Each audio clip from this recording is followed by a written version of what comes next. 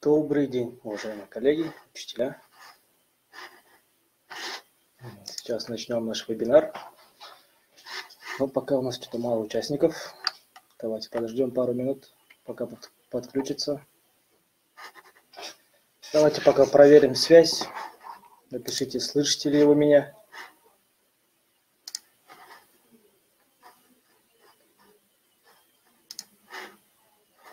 Отлично. Так, видео я попозже выключу, потому что это будет мешать э, самой презентации, будет закрывать часть презентации, будет только голос. Э, ваши вопросы вы можете задавать в чате, я буду читать параллельно и сразу отвечать по возможности. Так, прошлый вебинар у нас был на тему, как работать с Excel. То есть оказалось, что есть Word и есть Excel, и какая разница между ними, и где лучше что использовать. Э, Excel это была программа из Microsoft Office. А сейчас мы будем э, не только Office, а на другие перейдем программы. Покажу, что и как можно делать.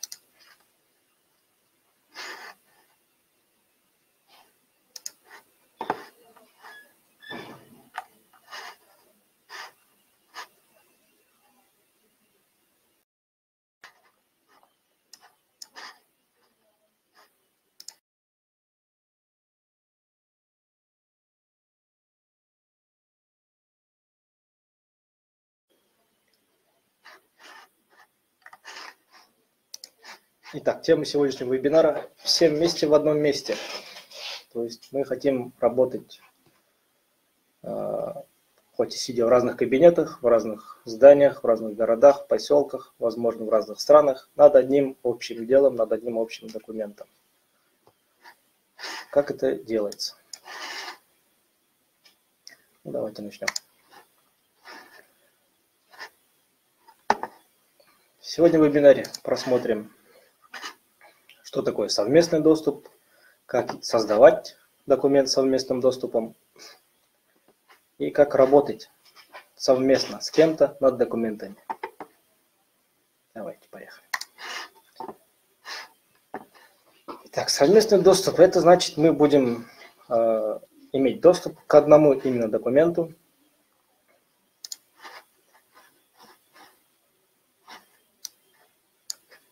э, Ладно мы, а, например, мы хотим, чтобы наш коллега, наш друг, работник, подопечный, студент, ученик тоже работал. Не только один, может даже группа лиц. Например, вы хотите дать задание всему классу, чтобы они э, не принесли вам 15 разных файлов с документами, а именно, чтобы все было в одном месте сразу чтобы вам не пришлось из 15 документов создавать один общий, сидеть полночи, копировать, вставлять это, чтобы сразу все было в одном месте. Вот для этого нам нужен совместный доступ. Э, кто-то может ночью это сделать, кто-то может уехать в поселок сделать, кто-то может на ходу с телефона все это сделать. Э, все это называется совместный доступ. Вам, наверное, приходилось сталкиваться с ситуациями, когда Например, нужно собрать какую-то информацию с разных источников в одно место. Вы для начала отправляете форму, говорите, вот файл заполните, пожалуйста, напишите там какую-то информацию, и потом обратно мне пришлите. И отправляйте, например, в группе там 30 человек. 30 человек вам отвечает через 5 дней, и вы сидите 30 файлов, складываете в одно место, и потом копируете и вставляете в один файл.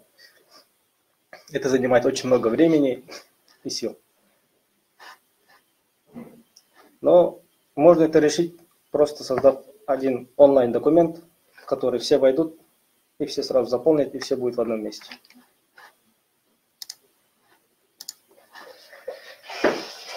Совместный доступ это похоже, вот вы все же в соцсетях сидите, там в Одноклассниках, в Инстаграме, ВКонтакте, еще где-либо.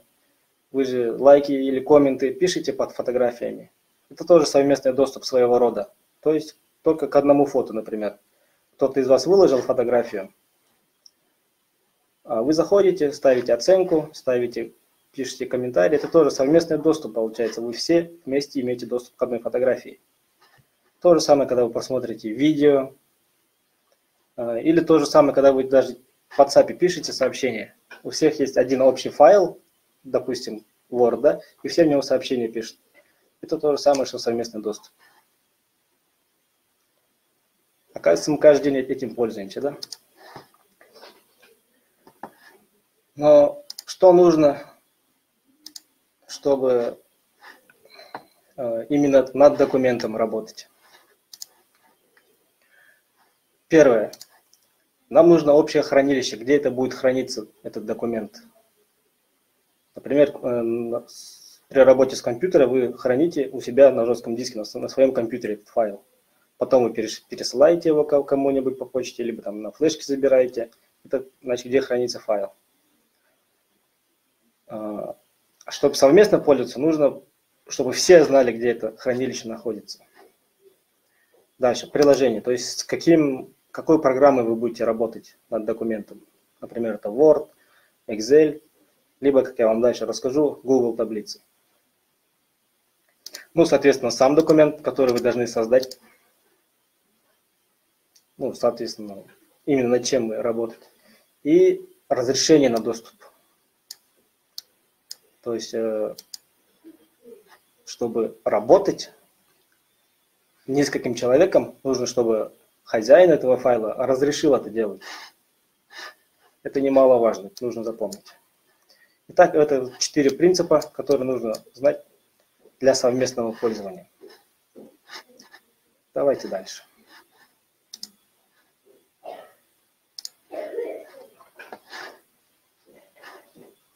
Вот, например, э, что говорит нам Office, точнее приложение Word для совместной работы.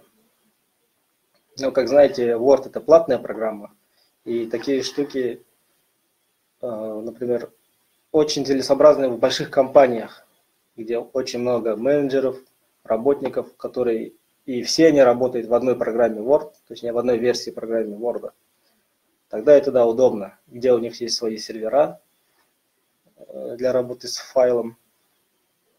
Но это не наш способ, потому что у каждого из нас разные версии, разные возможности, разные компьютеры.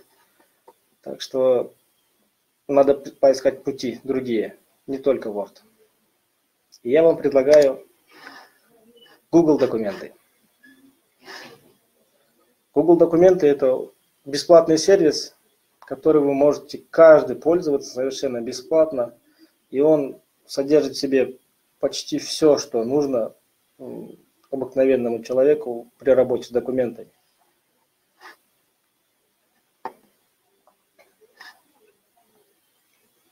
Вы же каждый день Google пользуетесь, что-то ищете, какую-то информацию. Есть Google почта, тот же самый Gmail, тот же самый YouTube тоже принадлежит Google. И также есть у Google такие, такой сервис, как документы. Вот.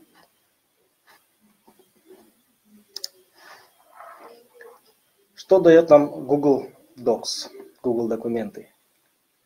Он нам дает хранилище файлов бесплатное. 15 гигабайтов он дает нам бесплатно.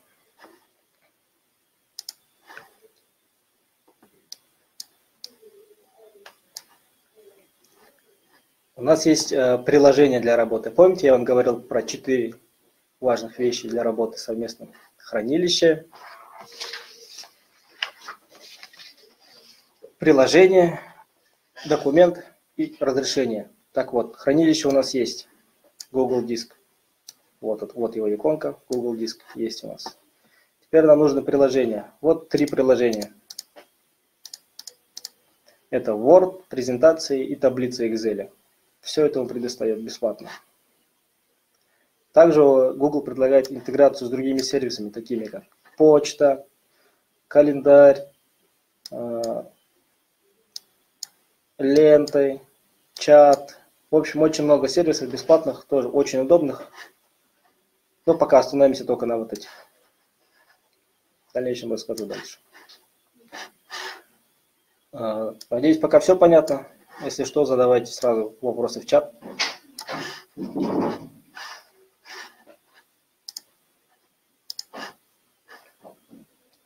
Так, давайте расскажем про, про плюсы и минусы Google документов.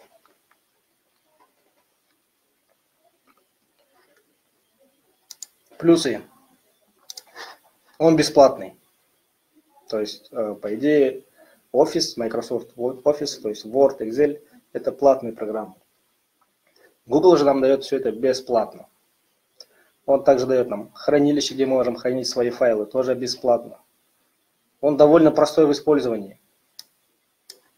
То есть э, интерфейс очень легкий, понятный, э, все как бы на своих местах. Не нужно искать какую-то там кнопку где-то далеко. Все просто, все там, где нужно. Предоставляет инструменты для совместного пользования, что я сейчас расскажу дальше. И вот что самое интересное, совместимость на любых устройствах. То есть вы можете с телефона работать, можете с компьютера, можно с планшета, можно прийти домой с другого компьютера, можно с ноутбука, на всем что угодно, все, что имеет доступ в интернет, мы можем на этом работать с Google документами. Есть небольшие минусы. В том плане то, что для работы требуется интернет. Но сейчас как бы уже везде есть интернет. У каждого в телефоне круглосуточно есть доступ в интернет. Работает медленнее по, по сравнению с Word. Да, работает медленнее, но это не особо критично прям. Если нужно что-то быстро сделать, тогда можно открыть Word, напечатать быстро и закинуть в Google Doc. И требуется аккаунт. Ну, аккаунт для современных людей не проблема. У всех, у каждого есть аккаунт в соцсетях. Э, в Гугле, скорее всего, тоже у всех есть. А, почему не всегда требуется? А, когда кто-то создает документ и отправляет вам, он может настроить доступ так, чтобы вы могли, не входя в свой аккаунт, писать что-то, редактировать что-то. Дальше расскажу об этом. Но если вы сами хотите создать документ, который будет кто-то пользоваться, вам обязательно нужно делать это со своего аккаунта.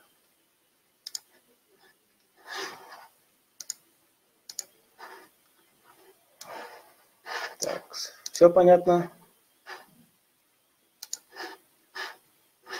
Пока никто ничего не говорит, все молчат, надеюсь, все понятно. Итак, давайте будем создавать теперь документы. Перейдем именно к созданию Google документов. Во-первых, нам нужно зайти на сайт Google, именно на сайт, если мы работаем с компьютера, и перейти в раздел «Документы». Потом создать именно сам документ и дать доступ для совместного пользования. Вот четыре простых шага. Сейчас я вам наглядно все это покажу.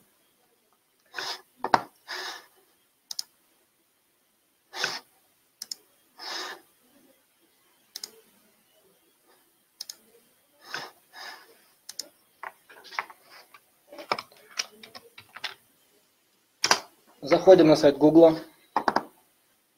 Сайт Гугла, пожалуйста. И вы здесь вот правом верхнем углу здесь кнопка «Войти». И либо вот эти вот 6-9 кубиков. Вот здесь вот есть кнопка Google Диск. Давайте нажмем ее и зайдем. Вот это мое хранилище файлов. Здесь есть куча моих файлов, которые я когда-то загружал, использовал, делал отправлял кому-то. И вот здесь есть кнопка «Создать». И создаем, что нам нужно. Мы можем создать три типа. Документы, таблицы и презентации. Они все похожи на вордовские, на, точнее на офисские, как, как Microsoft Word, как Excel и как PowerPoint. Давайте создадим просто документ.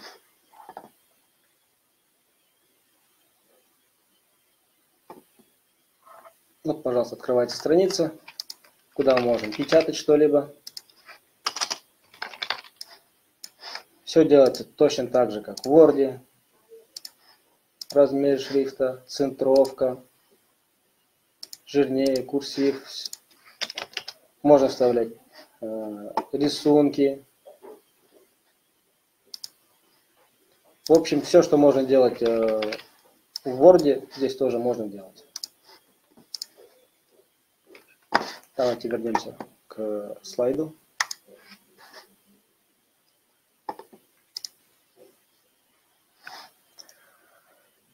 Так, давайте про аккаунт. У каждого, наверное, есть аккаунт. Но для тех, у кого нету,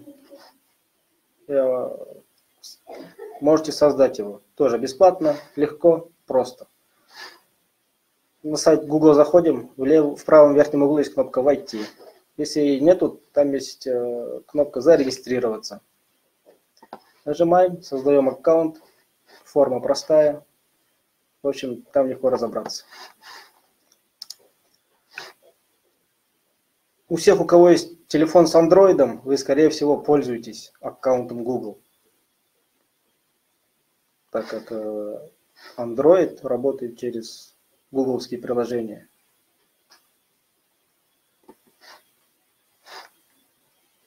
Так что вспоминайте пароль и заходите.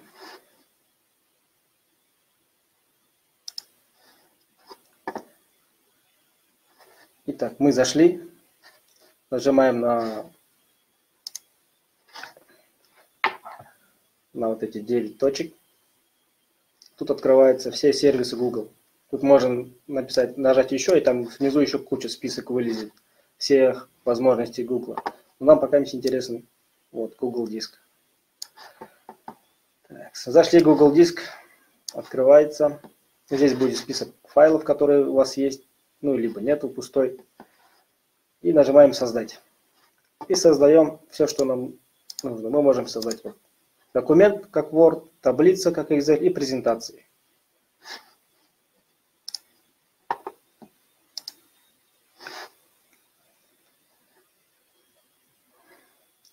Возможности Google, в принципе, очень достаточны, чтобы пользоваться как простому, так и довольно продвинутому пользованию, пользователю. Почему? Ну, во-первых, э, интерфейс понятный. Все, что нужно, под рукой находится. Есть автосохранение.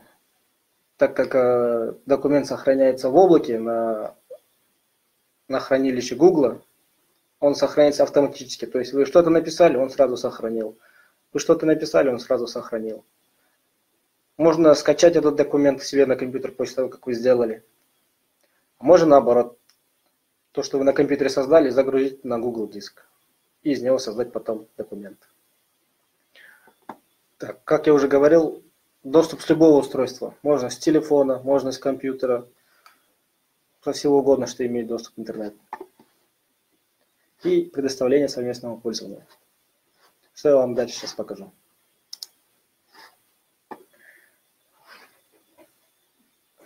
Чтобы работать совместно с документом, вы должны, как автор, как создатель документа, э, предоставить разрешение, то есть указать либо конкретным людям, чтобы они имели, только они имели доступ к этому файлу, либо всем, кто захочет, то есть у кого есть будет ссылка, кому вы отправите ссылку. Либо можете запретить, то есть чтобы никто не видел, никто не заходил и не мог смотреть, либо там менять что-то в этом документе. Так как это находится, ваш файл находится в интернете на, на хранилище Google.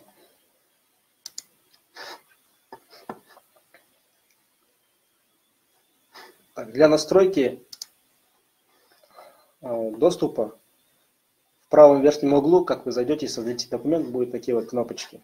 То есть это Excel,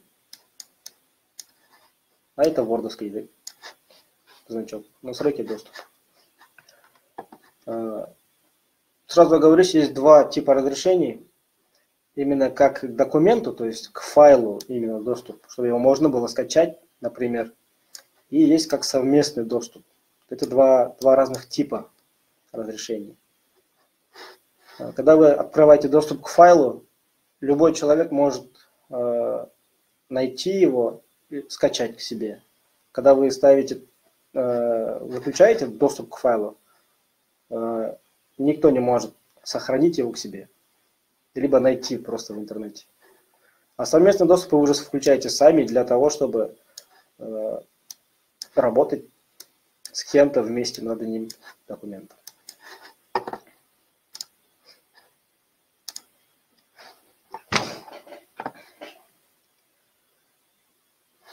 Вот я вам рассказывал про два типа доступ к документу для всех в интернете. Вот у вас три варианта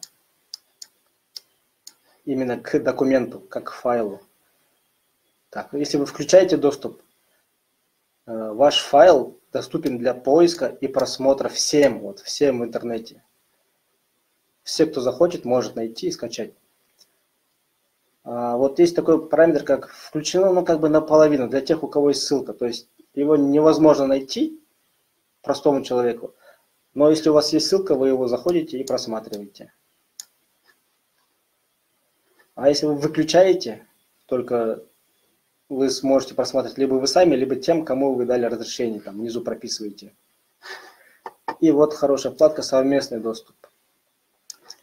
Когда вы настраиваете вот этот параметр, доступ автоматически подстраивается к этому. Когда вы выключаете, никто не может найти этот файл, только вы можете просматривать и редактировать. Когда вы ставите просматривать э, вот этот параметр и отправляете файл, тот человек может только посмотреть, то есть прочитать документ, но он не может э, в него внести изменения. А когда вы ставите редактировать, вот тогда уже человек может дописать свое, ваш файл, э, заполнить его и так далее. В общем, изменять ваш файл, то есть редактировать. Вот эти вот э, называется разрешение на доступ. Давайте покажу наглядно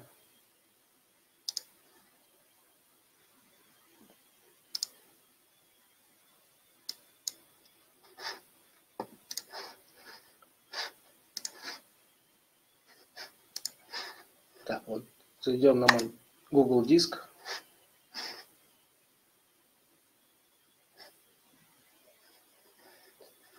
Вот я сегодня создал такой документ. Открываю его. Это простой документ, гугловский, по типу Word это сделано, просто страница с текстом. И давайте настроим доступ. Нажимаем настройку доступ. Видите, было написано доступно только мне. Вы можете сразу вписать сюда адреса электронных почт человека, которому вы хотите открыть доступ. Либо вы не знаете, кто будет смотреть это, но хотите показать. Нажимаем расширенные. Уровни доступа вот здесь теперь меняем. Э, например, ставлю включен для всех, у кого есть ссылка. Теперь, когда я отправлю ссылку человеку, он может зайти и смотреть это. И доступ ставим редактирование. Пускай они могут изменять и писать что-то. Вот, теперь написано. Изменить элемент может любой пользователь, обладающий ссылкой. Все, мне это, мне это устраивает. Теперь вот эту вот ссылочку я копирую либо можно вот здесь копировать, то же самое, либо вот здесь, одно и то же. Так, я скопировал. Теперь я вот вам сейчас в чат ее напишу, эту ссылку.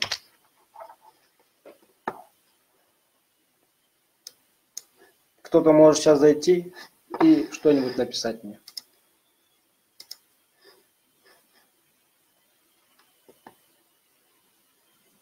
Вот кто-то уже зашел и пишет.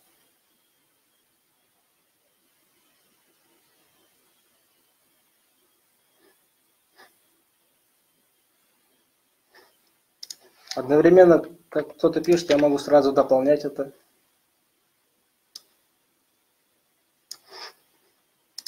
Вот, например, только что я изменил шрифт.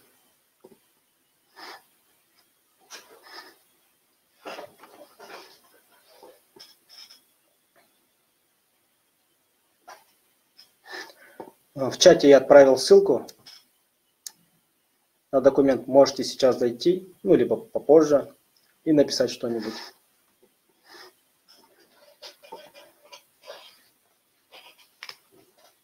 Вот, уже кто-то зашел. Например, я отсюда вижу.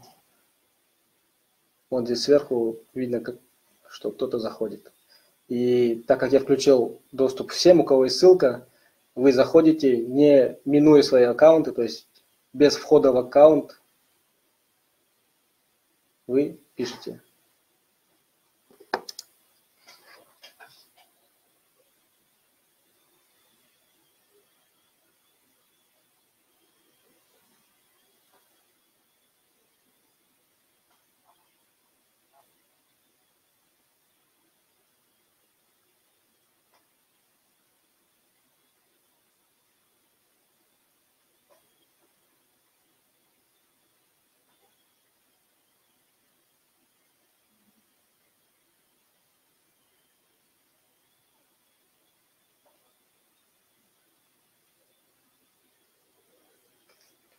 Да, я вижу, несколько человек зашли и пишут.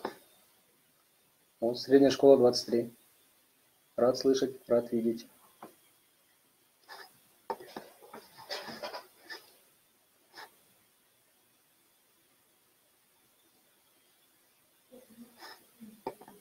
Отлично.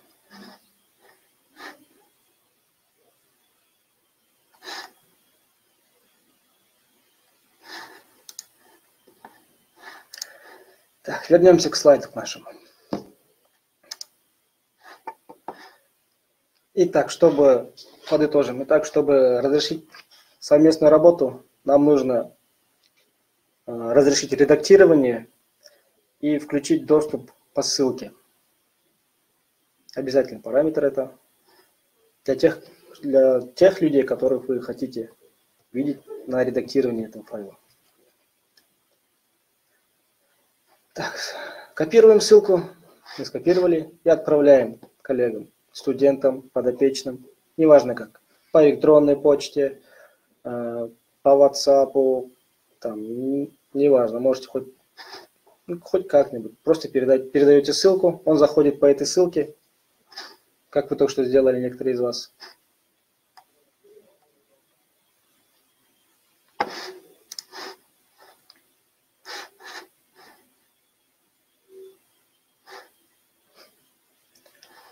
То есть разрешение на, на работу, это как бы вы снимаете замок с вашего документа и открываете его всем, кто есть в интернете. У кого есть ссылка на ваш, доку, ваш документ, можете теперь редактировать и изменять его.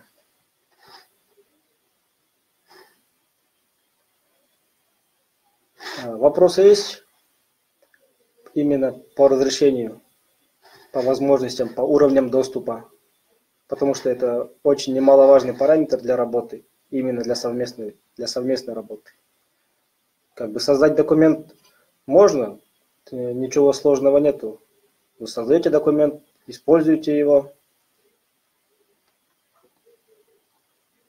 а именно, чтобы совместно использовать, нужно открыть замок этот. И надеюсь, всем понятно про разрешение. Пойдемте дальше. Есть некоторые минусы, когда все работают над одним файлом. Все куда-то тыкают, куда-то что-то пишут, непонятно куда, хотят шрифт побольше сделать, поярче сделать, написать повыше.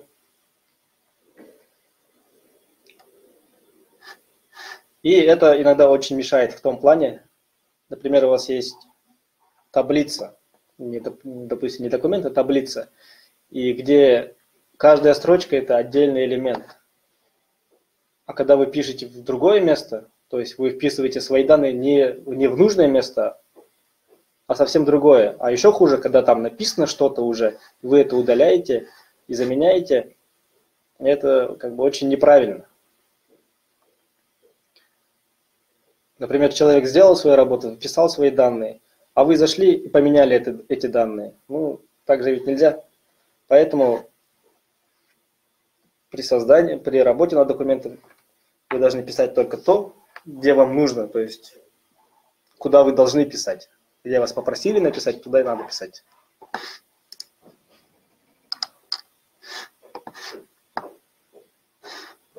Например, покажу сейчас.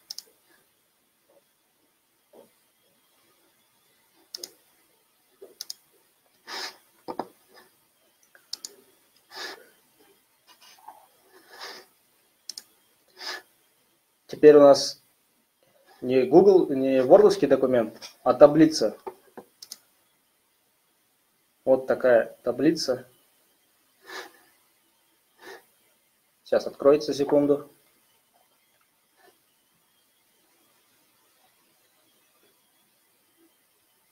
На 80 с лишним строк, можно больше, можно меньше, но да, именно данная таблица на 80, сколько там человек? На 86 строк. То есть э, теоретически 86 человек должны зайти и вписать свои, сюда свои данные. Ну, например, мне нужно заполнить э, вот эту строчку.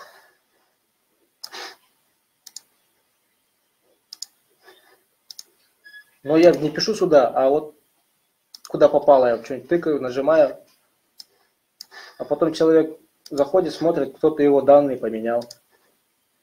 Или потом начальник начинает проверять, говорит, у тебя же не такие цифры, почему ты ввел сюда такие цифры?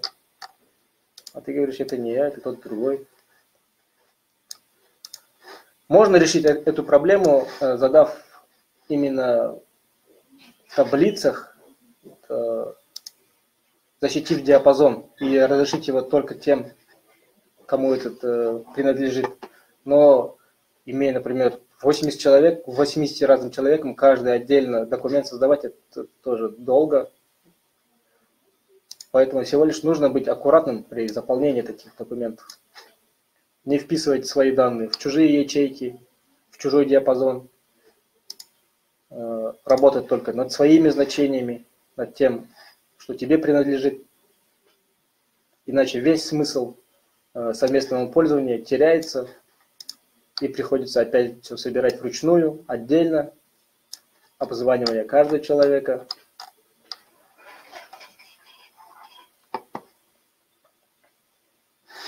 Так, а вот вопрос. А создатель документа может видеть, кто вносил данные? Да, может. Здесь, здесь есть э, история изменений.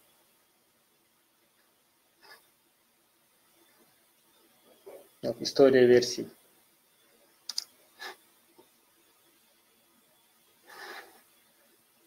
Но так как э, здесь включен доступ по ссылке, то есть без входа в аккаунт, здесь будет только анонимный пользователь писаться. А если вы включите только именно по почте, то есть укажете каждого члена вашей команды, кто должен работать над этим документом, тогда вот здесь сбоку будет видно, кто что куда писал. Когда писал даже будет видно. И что написал. Ну, точнее, э, где именно писал. Тастан, надеюсь, я на ваш вопрос ответил.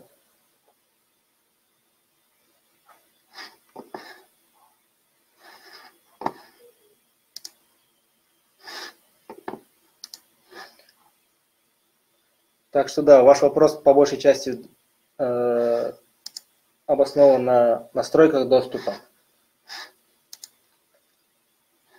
Вот вы здесь вы можете поставить не всем, а только тем, кому вы хотите включить. Например, вы сюда вы пишете достань собачка mail.com, допустим.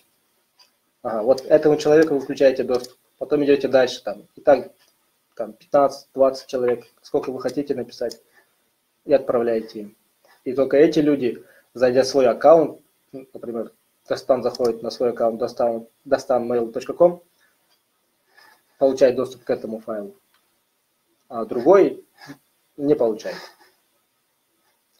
Возможно, это правильный вариант, но для, например, отправляем файл э, одному человеку, говорим, заполни его. Тот говорит своему коллеге, говорит, ты заполни за меня, пожалуйста. Либо там э, отправляет своему подопечному, говорит, заполните вы, у меня там много работы, или я не знаю эту, эту информацию, ты знаешь, заполни. И когда вот так э, просить каждый раз э, автора, хозяина документа, чтобы тот включил доступ для отдельного человека, это будет очень долго. Но, возможно, это будет правильнее, да. Но мы можем работать и так, если бы все, все аккуратно будут работать, можно и без доступа работать. Я имею в виду без разрешения специальных.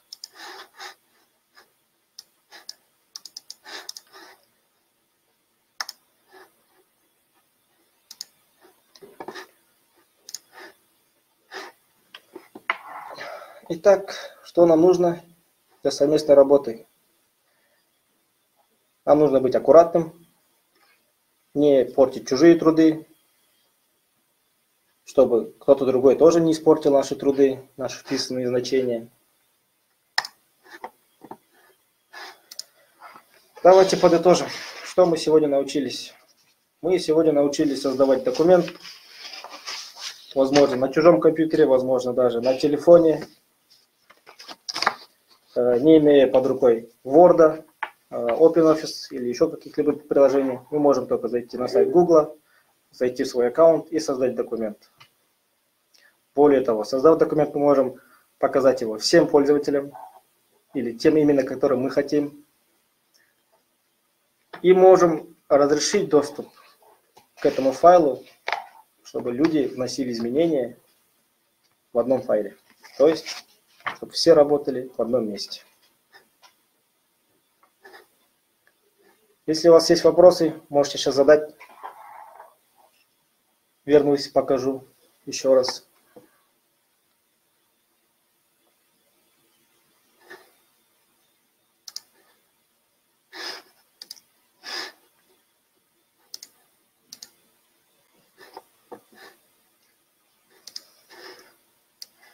Вот, например, на этой таблице сейчас работает 86 человек.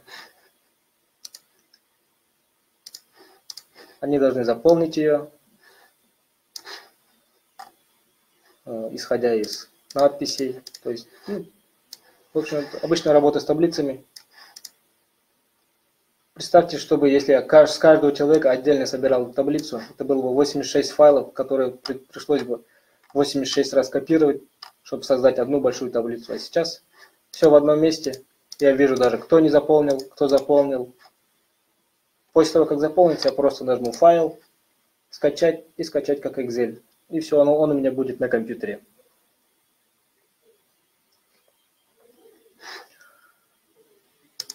Так, сначала показать, как э, начать работу над созданием. Окей. Пишем google.kz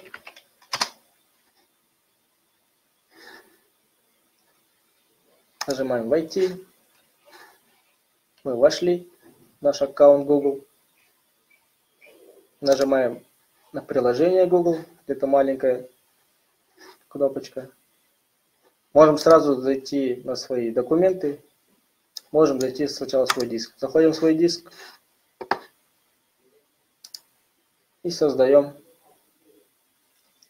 например, таблицу создаем.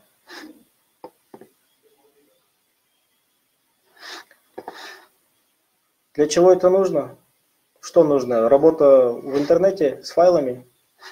Или для чего нужен совместный доступ с школы?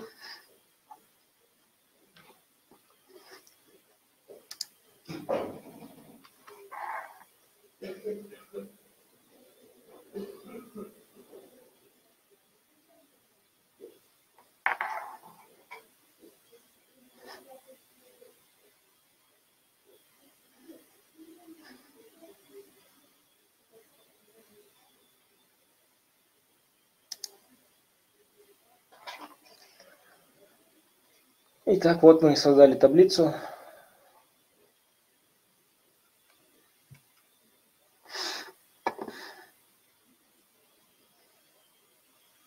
Я указал на минусы, которые возможны при работе с совместным доступом. Но я также описал возможное решение, чтобы избежать этих минусов. Я могу каждому отдельно дать доступ, тогда не будет э, такого бардака в файле, потому что каждый я буду видеть, кто заходил, когда заходил и что куда писал. Но вы представьте, что у вас есть 100 человек, с которых нужно собрать данные. И представьте, что 100 человек вам каждый отдельно на почту отправляет файл. И вам нужно потом из этих 100 человек собрать одну большую таблицу. Сколько вы, сколько вы будете работать над этим?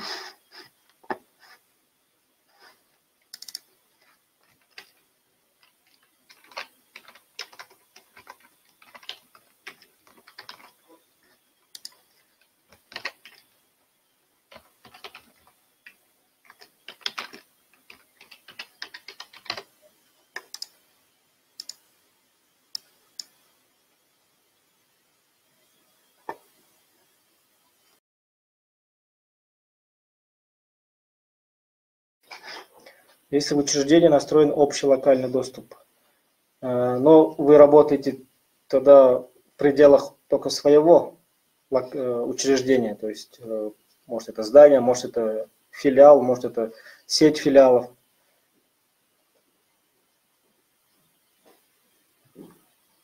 А, например, другому человеку, который находится не в учреждении, находится, например, с дома хочет поработать, либо на больничном человеке, либо в командировке – тогда локально он уже не будет, не сможет работать. Саздинская школа говорит, этим 100 человек нужно будет досконально разжевать. Э, в принципе, тут уже и так на словах, как бы на пальцах понятно, когда вы отправляете ссылку, он, человек заходит и видит то, что есть какая-то форма, э, какие-то столбцы, какие-то данные, которые нужно заполнить. То есть вы же человеку не просто так отправляете, вы сначала его предупреждаете, то, что вы отправляете такой-то файл, что там предстоит такая-то такая-то работа,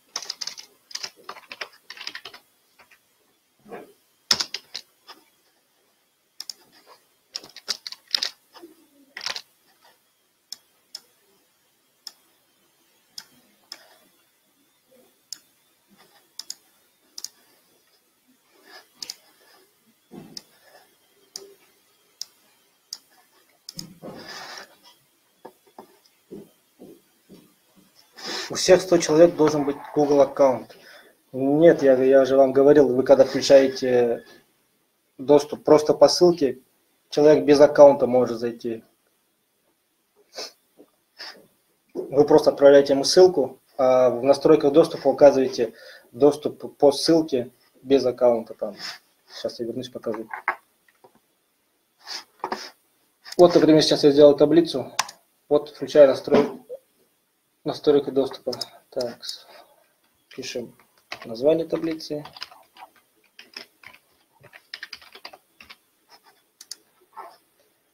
Вот, вы можете здесь указать именно по почте своим людям, которым вы хотите дать доступ.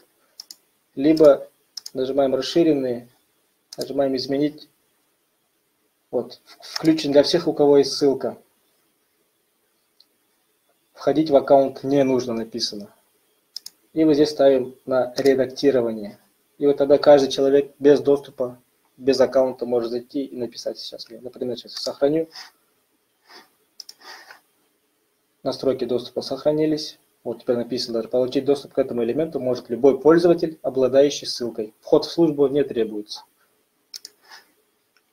Копируем ссылку. И сейчас я вам в чат отправляю ее. Теперь вы можете зайти и поставить оценку.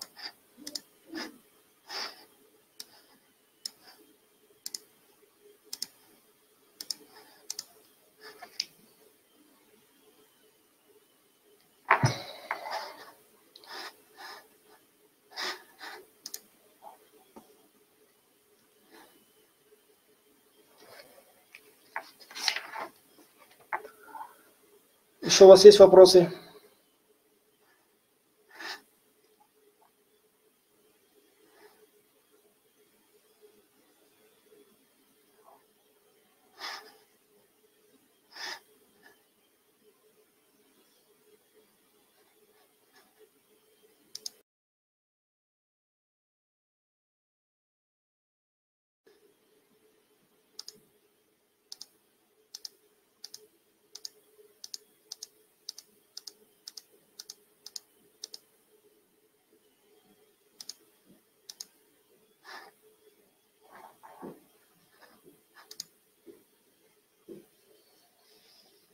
Вопросов нет. Итак, подытожим.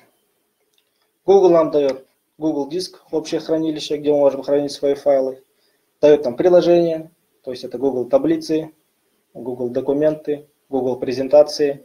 Мы создаем документ на нем, таблицу можем создать, можем создать презентацию и можем э, дать разрешение на, на доступ. Можем дать разрешение только на просмотр и можем дать разрешение на изменение этого документа.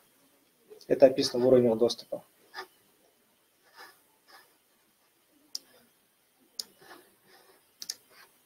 Тогда спасибо за внимание. Будут вопросы, ищите в Гугле. Google очень хороший, очень полезный сайт. У него очень много полезных сервисов.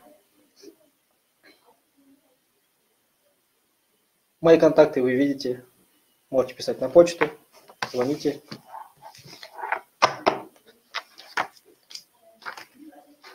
Всего доброго вам.